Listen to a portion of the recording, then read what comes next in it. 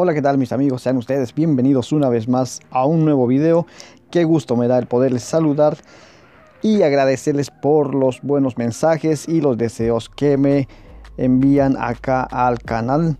Un saludo especial a toda la gente de Venezuela, a la gente de Colombia, a la gente de México, de Estados Unidos y a la gente de Argentina. Gracias por poder darse un poquito de tiempo y ver estos videos que simplemente hago para poder ayudar de alguna manera a toda la gente que se dedica a este rubro. Sí, bueno, este lavarropa es un lavarropa Drean Concept Electronic 158. La falla que presenta es que el motor se queda energizado constantemente. Ahí yo puse en el programa de centrifugado, entonces Vamos a darle inicio y vemos qué es lo que hace. Vemos que la electroválvula comienza a activar. Luego comienza a funcionar la bomba. O sea, ¿qué quiere decir? Que el programa todavía está obedeciendo. Vamos a ver cuál es la causa de este problema. ¿Por qué se queda energizado este motor? Porque presenta un ruido extraño una vez que está, que está eh, yendo al proceso de, centrifugado, el programa se queda tildado y se queda activado el motor. Y como si fuera poco, el motor, aparte de quedarse energizado, no se mueve. O sea que algo está en cortocircuito. Así que vamos a ir directamente al grano. Vamos a hacerlo paso a paso y veremos cómo solucionamos este problema, si es que el tiempo nos alcanza, obviamente. Así que bienvenidos mis amigos, vamos a desarmar este lavarropa. Eh, lo que tenemos que hacer ahora, sacaremos la tapa trasera, la cual tiene cuatro tornillos y vamos a ver qué es lo que pasa ahí abajo. Posiblemente el motor pueda estar quemado o no, eh, pero es un ruido extraño. Vamos a hacer esta prueba. Lo primero que tenemos que hacer para revisar cualquier tipo de lavarropa es eh, hacerlo visualmente. Todo tenemos que ser minuciosos al observar para poder ver si se ve algo a simple vista. Como segundo paso tenemos que colocar en el programa de centrifugado para ver si la bomba se activa, para ver si la electroválvula también se activa y el motor se activa. Luego de eso proseguimos a buscar la falla. Sacamos los tornillos y colocamos en un envase para que no se pueda perder. Obviamente siempre hay que tratar de ser muy ordenados en lo que hacemos.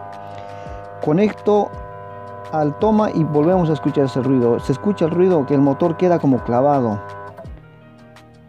O sea que le está llegando energía constantemente, pero el lavarropa todavía no está activado. O sea que no lo di en el botón de inicio, pero se escucha el ruido. Puede ser que el capacitor esté agotado o el motor esté recalentado directamente. Así que para ver eso vamos a sacar la tapa superior. Está sujetado por dos tornillos y vamos a ver qué es lo que nos encontramos.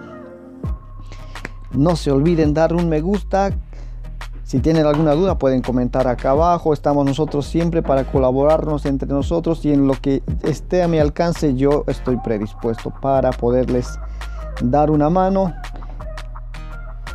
Vamos a sacar los dos tornillos y ahora hacemos un poquito de palanca hacia arriba porque tiene tres ganchos que sujetan a esta tapa. Eh, obviamente siempre hay que hacerlo con calma, sin romper nada, sin desesperarse. Lo más importante es mantener la calma. Vamos a reconocer los componentes que tenemos acá. Esta sería la plaqueta electrónica, es una plaqueta muy sencilla. Tiene dos triacs que controlan al motor básicamente.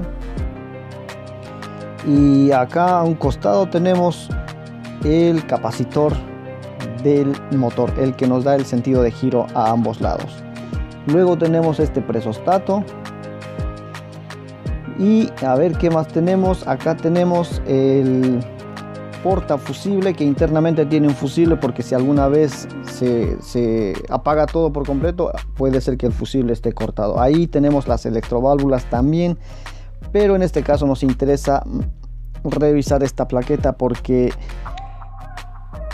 olfateo que algo anda mal en esta placa. Debe estar en corto Así que vamos a medir. Para hacer esta medición necesitaremos un multitester.